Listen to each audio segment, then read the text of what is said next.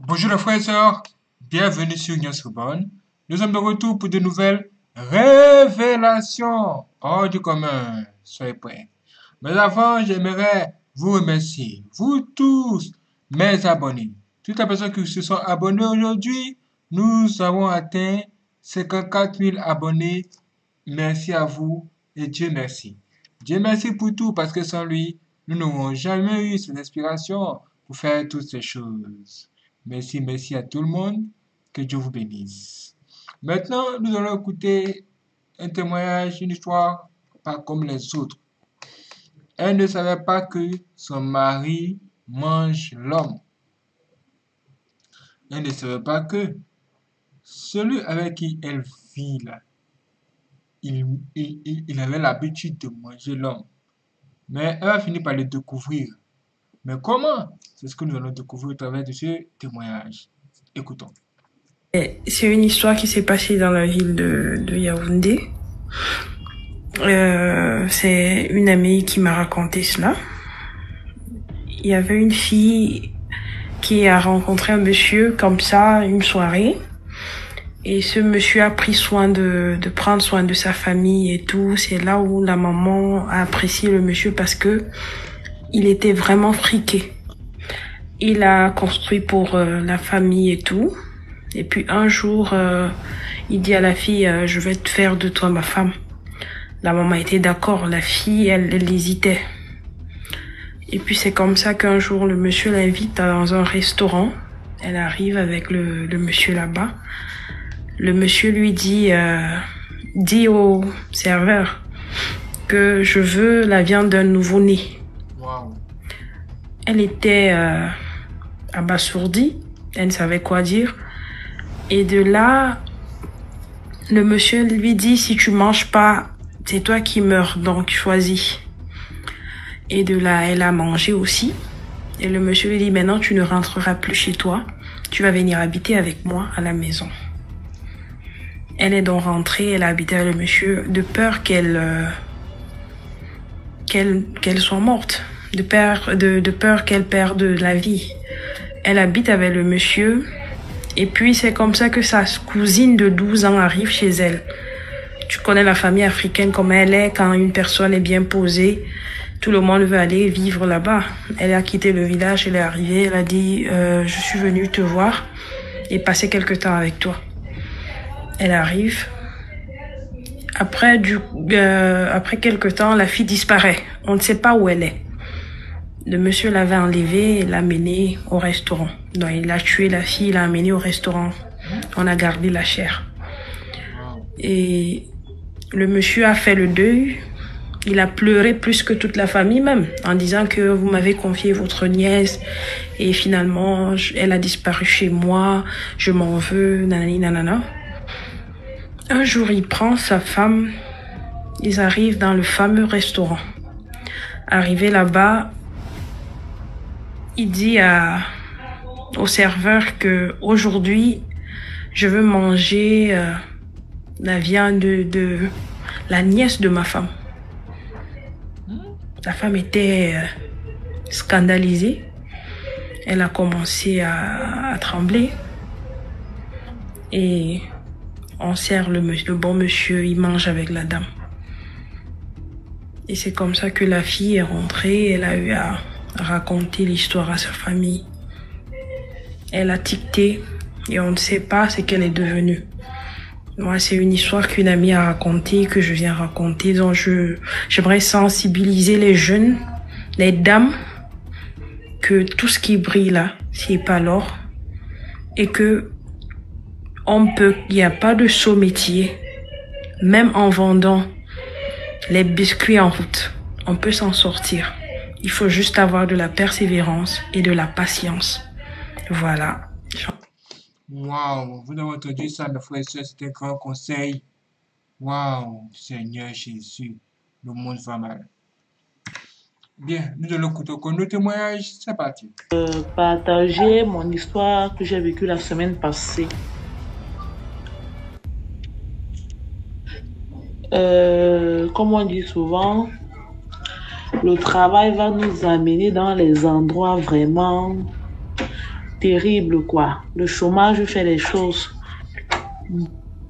Bon, euh, pour commencer, j'ai connu un ami euh, au lycée. On s'est perdu de vue. Tu m'écoutes? Oui, vas-y, On je s'est perdu de vue. Oui, on s'est perdu de vue et après, on s'est revu. On a changé de numéro de contact. On a gardé, euh, on a gardé la relation. Un jour, dans nos conversations, il m'a demandé ce que je faisais. Je lui ai dit que bon, je suis en chômage, je cherche le travail. Après la fac, j'ai pas eu de boulot. Il me dit, bon, euh, je, vais te, je vais te trouver quoi faire. Je lui ai dit, ah, merci mon gars. C'est comme ça qu'on a gardé contact. Un matin, il m'appelle, il me dit que bon, euh, je vais te donner le numéro de l'un de mes amis, que je vais pas donner le nom ici. C'est comme ça que euh, il me donne le numéro, j'appelle la personne. Quand j'appelle la personne, je dis que je viens de la part de tel, parce que je connais très bien son nom, j'ai donné tout son nom. Il me dit, ok, d'accord, Euh, on se retrouve à, à, à la mairie de Dedo. J'étais jamais allée à la mairie, la mairie de Dedo auparavant. C'est comme ça que je m'en vais à la mairie de Dedo. Moi, je me suis dit que bon, peut-être le travail, euh, je vais peut-être passer l'entretien à la mairie de Dedo. Donc là, quand j'arrive à la mairie de Dedo, je dis, bon, me voici, je suis déjà là, j'appelle le monsieur. C'est ça que le monsieur vient me chercher. Seigneur Jésus. C'est comme ça, on a pris un couloir qui est derrière, euh, il y a un couloir à côté de la mairie. Un couloir vraiment à ne jamais prendre. À ne jamais vraiment prendre. C'est comme ça que on longe le couloir, on longe le couloir. On arrive dans une maison. On, ouvre le portail, j'entre. Quand j'entre, je me retrouve devant les cercueils, six cercueils. Si je me suis pas évanouie, c'est que je ne sais pas. Je demande au monsieur que je suis où. Le monsieur ne me dit rien. C'est là où je commence. Je ne sais pas, l'esprit qui est venu en tête, j'ai commencé sur m'a dit Seigneur, sauve-moi, Seigneur, sauve-moi. C'est comme ça, quand je demande au monsieur, je me trouve où? Le monsieur me dit que, en tout cas, comme tu es là, tu ne peux plus ressortir. Soit, soit on te prend, soit c'est soit, soit, soit enfants qui partent. Mais je dis que, donc, le dit c'est même que j'aime les enfants. Parce que je n'avais jamais dit à mon ami là que j'ai des enfants pour. C'est comme ça que subitement, je ne sais pas comment je me suis retrouvée dehors. Je me suis seulement retrouvée en train de courir. Quand je finis le couloir, mon souffle était complètement fini. J'ai commencé à respirer. Les gens ont commencé à m'accoster. Qu'est-ce qui ne va pas, qu'est-ce qui ne va C'est comme ça que je n'arrivais pas à parler. Directement, j'ai contacté l'une de mes... Comme ça faisait longtemps, je ne suis plus allée à l'église. Peut-être six mois, avec les problèmes que j'ai eus. Comme ça que j'appelle une de mes amies, je demande à l'une de mes amies, tu es où? J'ai besoin de ton aide, j'ai besoin que tu m'amènes chez ton pasteur. Comme ça qu'elle me dit, retrouve-moi en Doximbi. C'est comme ça qu'elle m'amène chez son pasteur à la CMCI, qui est en. C'est là où je raconte ce qui m'est arrivé. Je n'ai pas dormi avec ce le même jour où nous sommes allés à. C'est comme ça qu'on a commencé à prier, prier, prier, prier. Et pendant qu'on est en train de prier, bon, euh, là, alors moi, je ne sais plus. C'est l'une de mes amies qui me dit qu'il y a un esprit qui s'est manifesté en moi. Commençait à dire que euh, je vais prendre tes enfants, je vais prendre tes enfants. Après, quand je suis rentrée à la maison, mes deux enfants ont commencé à chauffer. Les enfants chauffent, les enfants commencent à trembler comme ça, comme des feuilles. Les enfants ne font que chauffer. La maison est humide. Chose vraiment. La maison est humide. C'est comme ça que je porte les enfants, je les amène chez eux. Parce que le pasteur a commencé à faire les prières, a commencé à faire les prières. C'est comme ça qu'on lance le numéro du gars. Ça sonne, ça sonne, ça sonne. Le gars ne prend pas. Le pasteur dit qu'il va, il doit appeler le gars. Ça sonne, ça sonne, il ne prend pas. C'est là où on essaie avec mon numéro. Quand on essaie avec mon numéro, le gars ne prend pas. On a essayé plusieurs fois avec notre numéro, il a pris. C'est comme ça que le pasteur a commencé à prier, à envoyer les, les, les, les, les versets bibliques sur le gars. Quand le gars a compris, le gars a raccroché. Donc, ma semaine a été vraiment chaude en fait, très très chaude. Donc vraiment, j'ai tenu à sensibiliser les jeunes pour dire que vraiment le travail ne doit pas nous amener dans des endroits vraiment parce que la soif, la soif du travail, le chômage, si Dieu n'était pas avec moi, peut-être je ne serais pas ici en train de parler. Donc, je remercie vraiment le Seigneur et que vraiment soyons vigilants quand on part chercher le travail, quand on demande le travail. Parce que même jusqu'aujourd'hui, je n'en reviens pas que je sois en train de parler. Parce que ce que j'ai vu, c'était comme un, dans un film nigérien. Je n'avais jamais vu de cercueils. Peut-être pas un m'avait au deuil, mais que je me trouve dans une maison avec six cercueils devant moi ouverts. Je ne sais pas si j'étais la sixième ou bien la première qui devait entrer là-bas. Donc vraiment, soyons vigilants en fait. C'est ce que je voulais dire ce soir. Waouh, vous avez entendu ça? Soyons vigilants. Bien, nous avons, nous allons écouter encore nos témoignages. C'est parti. Je vais expliquer l'histoire de ma petite cousine de 8 ans qui a toussé le feu pour brûler mon lit. Waouh. Je vais expliquer l'histoire de ma petite cousine de 8 ans qui a toussé le feu pour brûler mon lit. Ok. Ok. C'était en 2004. J'ai le frère de ma maman et sa femme. C'est un pasteur. Donc, il y avait funérailles au village. Et c'est comme ça qu'il allait au village. Après les funérailles, la petite, elle, elle était au village. Donc, elle s'est collée, collée, collée à la femme de mon oncle. Et puis, ils l'ont prise pour venir à Abidjan. Arrivé à Abidjan, alors que la petite, elle était en mission. Mon oncle, lui, savait pas. Il s'est dit, bon, c'est l'enfant de sa petite soeur. Parce que la petite, c'est la fille de ma tante. La petite soeur de ma maman, sa fille. Et mon oncle, pasteur aussi, c'est le petit frère de ma maman. C'est comme ça, ils ont dit, bon, pourquoi ils n'ont pas d'enfant? Pourquoi ne pas prendre la petite pour l'envoyer à Abidjan? Ils ont pris la petite, ils sont venus à Abidjan avec elle. Elle était chez eux. À chaque fois, elle était venue en mission pour prendre l'âme de mon oncle pasteur là, pour partir dans leur confrérie là-bas pour le tuer. Donc, comme lui, il est pasteur et qu'il prie beaucoup, à chaque fois la petite veut faire ses pratiques, elle voit le feu. Elle ne peut pas prendre l'âme de mon oncle. C'est comme ça, matin, elle a dit à son- mon oncle, ah, envoyez-moi chez Adé, que moi je ne veux pas rester dans votre maison ici, qu'il y a trop de feu ici. Et ils ont pris la petite, ils l'ont envoyée chez moi. Étant chez moi, j'avais un chien.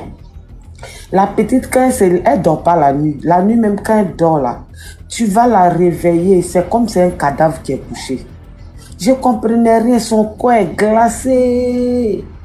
Tu la tapes juste, elle ne se lève pas. Après, quand elle revient en elle, elle se réveille en sursaut. Matin aussi, souvent les matins, quand elle est là comme ça, elle s'assoit, elle regarde le soleil, elle fixe le soleil. Le chien va aboyer dans sa figure, dans ses yeux. Le chien aboie, juste le chien met la gueule dans le visage de la petite. La petite bouge pas. Quand elle revient en elle, quand tu lui dis, mais il y a quoi, on t'appelle, tu réponds pas, elle fait, oh, le chien là même, il fatigue trop les gens. C'est comme ça, un jour, il est fait asseoir et puis il lui a demandé. J'ai dit, mais pourquoi quand tu dors là, ton corps est glacé et puis elle a commencé. J'ai dit, mais est-ce que si tu fais ça là, tu vas retourner où tu es parti, où tu étais, chez tonton, chez mon oncle là-bas? Elle dit non, je peux pas partir là-bas, que là-bas il y a le feu. J'ai dit comment ça? Et puis elle a commencé à expliquer que non. On dit non, elle n'a qu'à venir prendre le corps de euh, de mon oncle, l'âme de mon oncle pour aller dans leur confrérie, ils vont le tuer, que c'était son tour qu'il meurt. Il a dit qui a dit ça à la cité des personnes du village, de la famille. Que c'est eux, chaque nuit, ils viennent me chercher. Il a dit ils viennent te chercher. Comme elle dit, ils viennent en, voiture, ils gardent. Parce que la maison, moi, ma maison était au bord de la route. Ils gardent devant, au goudron là. Et puis ils viennent, je monte, on s'en va. Et puis les matins, je viens. J'ai dit, hein? Donc tu es sorcière. Mais pourquoi tu as suivi tonton pour venir avec lui? Elle dit non, que au village là les enfants là, nous les enfants là, comme les gens savent pas que on est sorcier, on se fait pitié, pitié. Quand il y a les Abidjanais qui viennent au village comme ça, tu te fais pitié. Si on a besoin d'une âme, tu te colles à la femme ou à ton tonton, bien à la tante. Elle se dit, tu fais ses travaux, elle t'envoie, tu es avec elle. Comme ça, tu lui dis, tante, je veux partir avec toi, puis elle t'amène. Alors que c'est en mission, tu t'en vas comme ça. Donc j'ai appelé mon oncle, puis expliqué, on a parlé. Mon oncle dit, bon, il n'a qu'à rester chez toi là-bas. Si tu veux l'envoyer au village, tu vas l'envoyer. C'est comme ça, un soir, on était assis. Parce que Abidjan, souvent les 16 heures là, on sort, tu t'assois devant la porte pour prendre un peu d'air. Donc on était assis, il y a un monsieur qui passait. La petite, elle dit, elle appelle le monsieur, tonton, tonton, pardon, donne-moi 50 francs. Et le monsieur lui donne 50 francs. Je lui dis, mais pourquoi tu le connais? Où et puis tu lui demandes 50 Et puis lui aussi, il enlève la pierre de 50 pour te donner. Retourne son argent. Donc, elle j'ai pris l'argent, les 50 francs dans la main de la petite et j'ai retourné au monsieur. J'ai dit, tu connais, tu connais pas quelqu'un, tu, tu, tu l'appelles et puis tu lui demandes 50 francs. Lui aussi, il enlève une pièce de 50. Tu veux faire quoi avec? Est-ce que c'est manger qui te manque? J'ai commencé à la gronder. Elle n'a rien dit. Elle est rentrée dans la maison. Donc, le soir, moi, mes amis sont venus me chercher. On allait faire le show. Je rentre. Mon lit est brûlé. Le tapis est brûlé. J'ai dit, aïe. Elle a 8 ans. Je précise qu'elle a 8 ans. Donc, elle était avec une autre cousine qui avait 18 ans comme ça. Je réveille ma cousine de 18 ans. J'ai dit, regarde, tu n'as pas vu la fumée dans la maison, le lit est brûlé, le tapis est brûlé, tout ça là. On réveille la. Elle était assise, la petite de 8 ans, elle était assise. J'ai dit, mais comment tu as fait? Puis tu as brûlé le lit Regarde, tu as brûlé le lit. Donc si je dormais, tu allais me brûler. Comment tu as fait? Tu as pris allumette. Il n'y a pas allumette ici, il n'y a rien ici. Il n'y a pas de briquet. Elle dit non, je voulais tousser. Et puis le fer sorti de ma bouche. J'ai dit, tu voulais quoi? Tousser. Et puis le est sorti de ta bouche. Donc tu voulais me tuer. Je t'ai fait quoi? Et puis tu veux brûler ma maison. Elle dit non, que quand j'ai demandé 50 francs au tonton qui passait là, et puis tu as pris les 50 pour retourner, c'est comme ça, j'ai- tu, tu- as parlé sur moi. Donc le tonton l'a dit, comme tu as parlé sur Il a dit, quel tonton?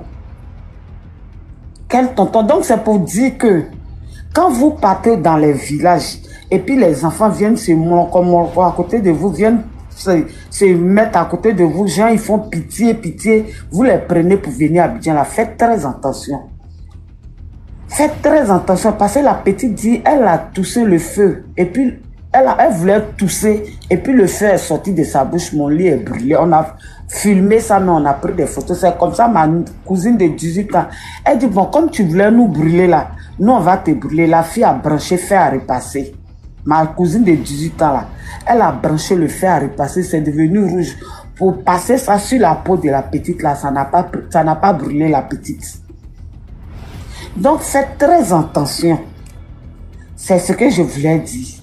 C'est mon histoire, c'est la première histoire. Maintenant, DNG, Mais vous avant savez, de... Waouh, vous n'avez entendu ça? Est-ce que vous pouvez me dire ce que vous en pensez?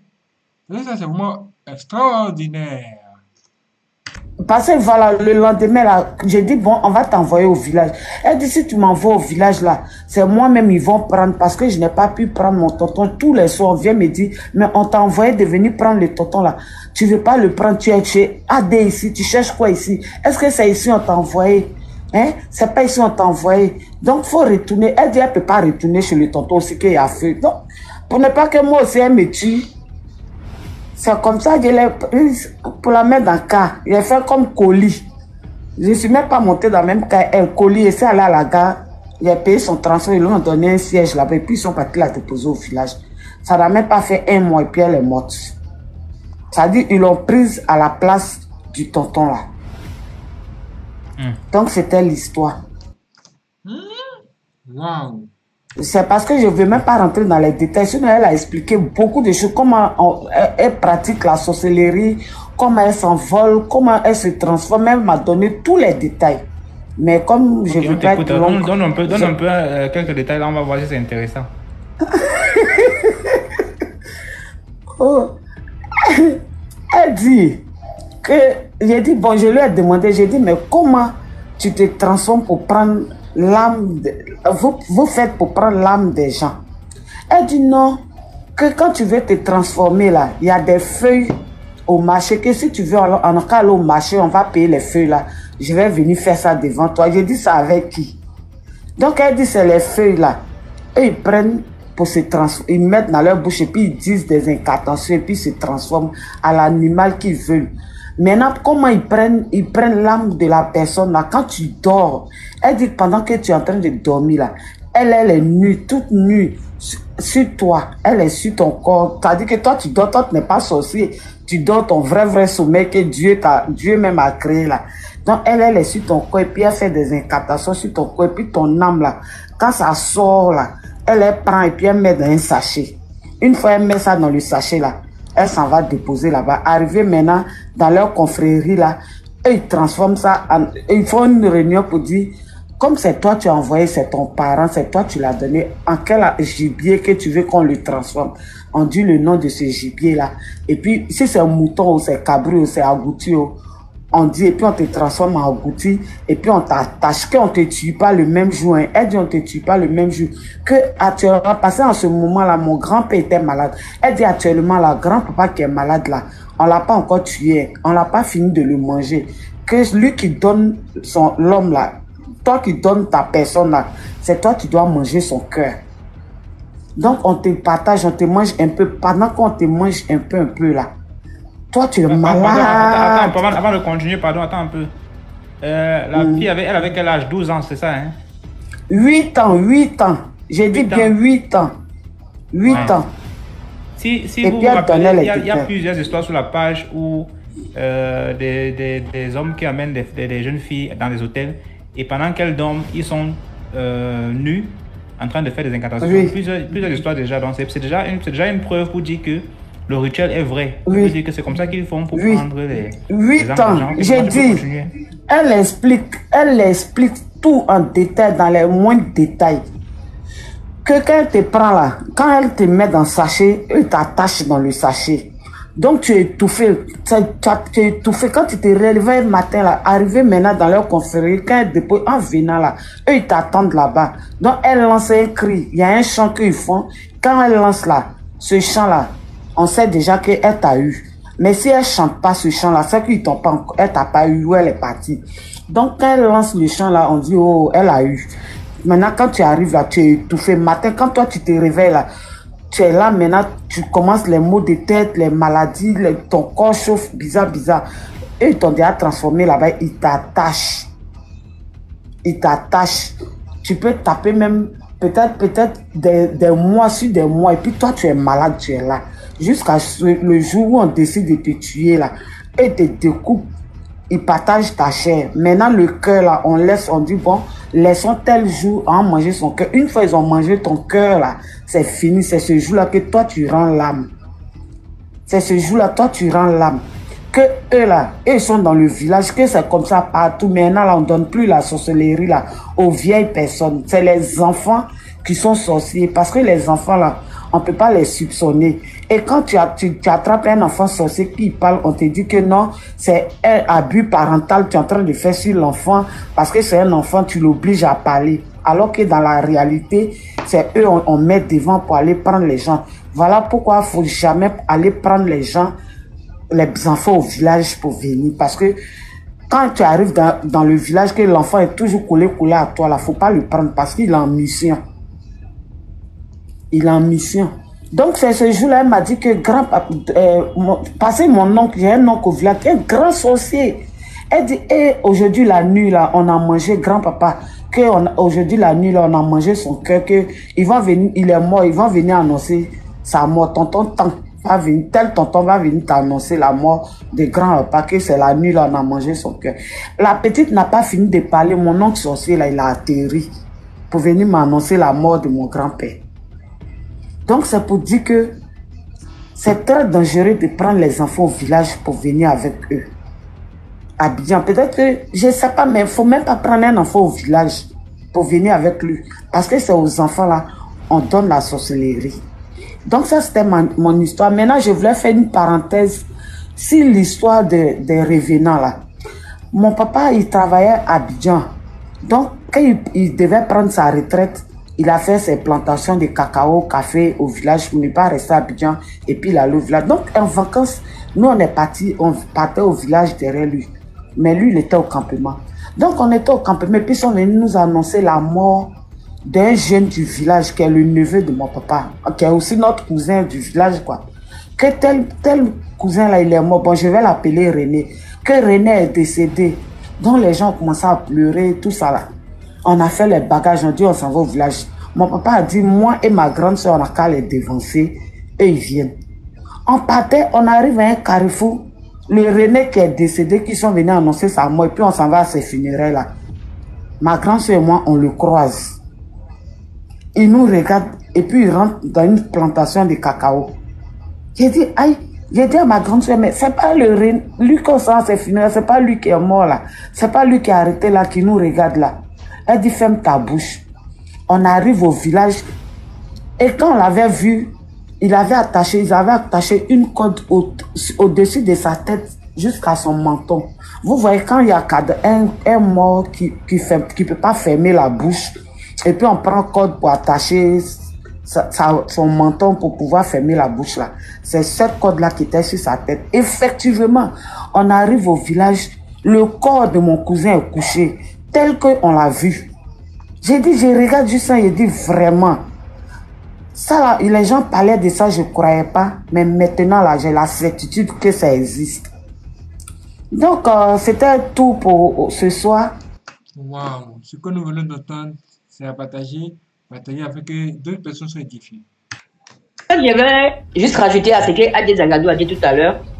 En fait, la sorcellerie, là, ce qu'il faut savoir, pourquoi on demande de prier chaque fois, c'est parce que quand le sorcier rentre chez toi, il a la possibilité de rentrer en homme invisible. Mais pour faire une action dans 80% des cas, il est obligé de se matérialiser. C'est comme souvent quand quelqu'un prie et puis il dit j'ai trouvé une personne nue dans ma maison, en fait c'est la sorcellerie. Et quand ce jour-là, par la grâce de Dieu, là quand ils viennent, ils te, ils te mettent dans un sommeil autre que ton sommeil normal, de sorte que tu ne vois pas. Mais quand tu pries que ce jour-là, Dieu te fait grâce d'ouvrir, tu tombes sur la personne. Et ce qu'ils ont, ils ont la possibilité de disparaître de, par la magie. C'est qu'une fois, il y avait une de tes petites qui avait raconté une histoire où sa sœur hébergeait une de leurs cousines en France. Et elle devait passer, de l'Allemagne, elle devait passer par la France pour aller au Cameroun. Et cette nuit-là, elle a surpris sa cousine qui était censée être au Cameroun avec sa sœur dans la maison de sa sœur. Donc, ça vous dit quoi? Ils se matérialisent forcément avant d'agir dans 80% des cas. Le seul truc, c'est qu'ils ont besoin de se mettre en homme invisible pour rentrer dans une maison. Mais quand ils rentrent dans la maison, ils, mettent une poudre. Et c'est cette poudre-là qui te fait endormir, cette potion-là qui fait endormir les occupants, de telle sorte qu'ils agissent à, découvert. Maintenant, si toi, Dieu te fait grâce que ce jour-là, tu ouvres les yeux, tu peux les voir. Tu vois, non? Bon, ça, après, je vais, faire une autre, une autre parenthèse pour ce que Tata Françoise a dit la dernière fois par rapport au, au rituel d'argent et tout. Bref, ce soir-là, j'ai trois, trois histoires à raconter. Mais comme après, j'ai des difficultés à monter, j'ai envie de commencer par la plus longue ou bien je commence par les deux petites, je ne sais plus trop. Par les deux petites.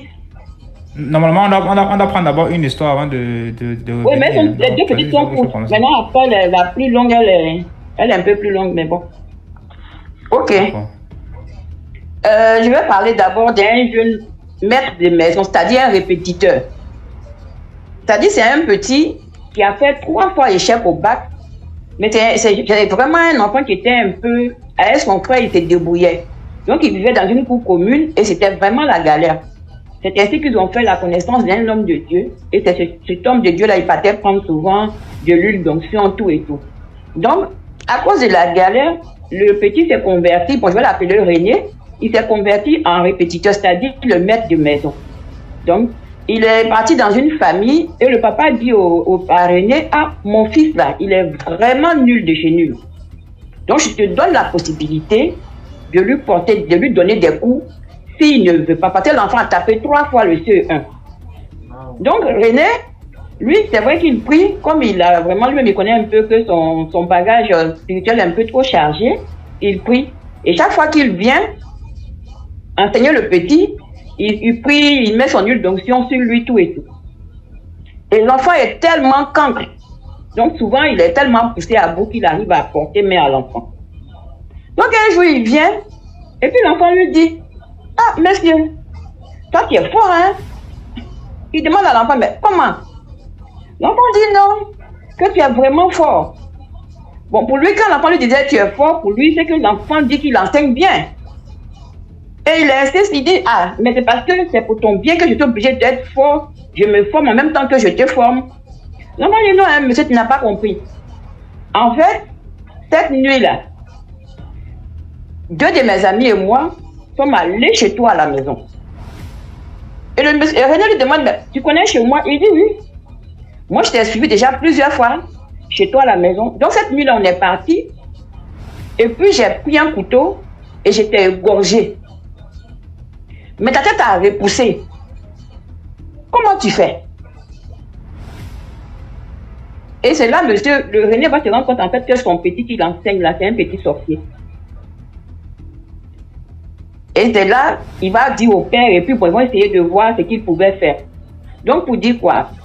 Actuellement, comme l'a dit tout à l'heure une de mes soeurs, les enfants sont initiés des fois dans le ventre. Donc, déjà, quand l'enfant est dans le ventre de sa mère, il pratique la sorcellerie avec celui qui l'a initié. Et comment se fait l'initiation? On prépare un repas qu'on donne parce que l'initiation se fait forcément par quelqu'un qui est auprès de toi. Ça se fait physiquement. Donc, l'enfant étant, dans le, étant fœtus dans le ventre de sa mère, la nourriture est faite de telle sorte que c'est lui qui est dans le ventre de la mère qui est programmé. Donc, même si la mère mange, elle ne sera pas initiée, mais c'est celui qui est à l'intérieur qui mange, qui est initié. C'est-à-dire que l'enfant prend ça par ricochet. Et donc, quand un enfant naît, il a un an, pratiquement deux ans, sans pouvoir aller s'envoler la nuit. Mais à partir de l'âge de deux ans, il commence vraiment à pratiquer la sorcellerie physique. Bon, ça c'était la première histoire. Ce qui, enfin, je vais conclure. Les jeunes. Maintenant, on demande dans les commentaires, toi tu connais le rituel comment? Je t'ai dit, je t'ai dit pourquoi non? Que je me renseigne sur la sorcellerie.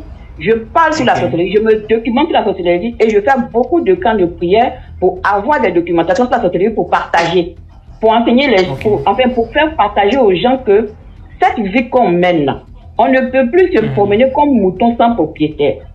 Parce que même ton enfant qui est sous ton pied là, il peut être sorcier. Et puis il faut savoir que quand ton enfant est sorcier là, Dieu là, là il est amour. Hein. Il va pas tout de suite frapper l'enfant comme il, il, va frapper par exemple ton père ou bien ta mère qui est sorcière. Parce que c'est ton enfant. Si lui il frappe l'enfant de mort, tu vas souffrir. Et le but de Dieu n'est pas de nous faire souffrir. Il nous ouvre les yeux. Comme je dis toujours là, quand ton enfant chez toi à la maison est sorti tu peux savoir. C'est parce que les parents ne regardent pas leurs enfants. Quand ton enfant est sorcier, dans le comportement, les enfants qui sont têtus, mal, mal, mal têtus là, quand tu vas poser sont dans la sorcellerie. C'est pas eux tous, hein, mais beaucoup dans la sorcellerie, ou bien ils sont détournés spirituellement. Donc il faut vraiment faire attention. Il faut prier pour ses enfants. Quand ton enfant dort la nuit là, va tu pries pour lui. Sinon, il va s'envoler, tu vas même pas t'en rendre compte. Bon, la deuxième histoire, c'est celle d'un vacancier qui est en Europe ici et qui est professeur. Donc, il va en vacances à, à, à Abidjan au pays et sa sœur lui dit, bon, comme tu es venu en vacances ici et puis on ne sait jamais, quelqu'un peut voler tes papiers. Donc, donne-moi tes papiers, je vais les garder. C'est-à-dire son passeport, son titre de séjour et tout. Et lui, il fait le paquet, il donne à sa petite, sa petite, c'est garde. Donc, à une semaine de son voyage, il dit à ta sorcière, n'ayant qu'à je ne suis pas une sorcière, mais tu ferais mieux d'écouter puis prendre des notes parce que ça pourrait te sauver la vie un jour. Donc, il dit à sa soeur, à une semaine de S'il son vous plaît, voyage, arrêtez de traiter ceux qui montent là de sorciers et sorcières. Oui, oui. posé une question, j'ai- posé la question, elle vous a répondu. Donc on s'arrête à ce niveau-là. Merci beaucoup. Donc, quand une, à une semaine de son voyage, il demande à sa petite soeur, bon, comme le voyage approche, donne-moi mes papiers, je vais aller à l'agence pour, comment on appelle ça, pour, euh, euh, bon, comment on appelle, le mot m'échappe, enfin, pour dire que je vais voyager vraiment à la date où j'ai pris le billet. La soeur va chercher les papiers là où elle, les avait mis, elle ramène l'enveloppe, il y a tous les papiers, c'est-à-dire la sécurité sociale, le passeport, sauf le titre de séjour qui a disparu de l'enveloppe. Ah, la sœur cherche partout, mais elle sait où elle a quand même déposé les papiers. Il n'y a pas le titre de séjour. Et c'est le titre de séjour qui fait office de visa, euh, de permanent pour que le monsieur puisse faire des allées et des venues. Donc le- le papier n'est pas là. Qu'est-ce qu'il fait? Il se rend à l'ambassade de France en Côte d'Ivoire. Voilà, pour confirmer son vol. Voilà. Il se rend à l'ambassade de France en Côte d'Ivoire pour demander, pour expliquer la situation. Eux, ils lui disent que non, ils ne peuvent pas dans l'immédiat lui donner un rendez-vous pour, l'obtention d'un visa. En a le monsieur, quand il rentre de, de, ses vacances d'Abidjan, le lendemain, il a oublié de reprendre son poste. Et il est coincé. Il est tellement perdu parce que l'ambassade ne peut pas lui donner le visa. Il va non seulement s'absenter de manière injustifiée, il risque de perdre son boulot, même s'il avérait qu'il il obtenait un visa, par exemple, un mois après. Donc, sa maman, fait, sa maman dit, ah, cette situation est un peu compliquée, donc je vais t'envoyer chez mon papa à l'église, on va prier pour toi. Donc, il vient à l'église. Au début, il voulait, il voulait dire non, mais il était tellement dans la panade, il a suivi sa maman à l'église. L'homme de Dieu a prié, il lui a dit, tu vas retrouver tes papiers. Donc, il est parti, c'était en semaine, donc le samedi où on faisait le jour de culte, il est venu. Mais la maman n'a pas pu venir parce que sa maman, elle vendait des balles de friperie. C'est-à-dire que elle va dans les petites villes, elle prend ses balles de friperie, elle ouvre et puis bon, elle vend. Donc ce, jour-là, quand il est venu à l'église, sa maman ne pouvant pas l'accompagner, puis sa maman devait aller vendre. Et là, le village dans lequel sa maman est partie, elle avait une nouvelle balle de friperie comme ça qu'elle devait vendre. Lorsque sa maman ouvre la balle de friperie, ce n'est pas une balle qui était déjà usitée, hein. C'est une nouvelle balle de friperie. Quand sa maman ouvre la balle de friperie, le titre de séjour du monsieur est dans la balle de friperie. C'est-à-dire que, de manière mystique, les gens avaient retiré ces papiers et par la grâce de Dieu, par la grâce des prières, le, le, le, le papier de la, du monsieur a été retrouvé dans, dans la balle de friperie que sa maman allait récupérer chez un vendeur quelconque pour aller vendre ça sur le village là-bas. Et donc, quand la maman ouvre la balle de friperie, qu'elle voit le, le titre de son fils, elle appelle, elle lui dit, lui-même il n'en revenait pas. C'est est venu témoigner à l'église, il n'en revenait pas. Et donc la maman dit, bon, elle va mettre ça dans un cas. Il dit non. Il a pris l'appel le transport de sa petite soeur.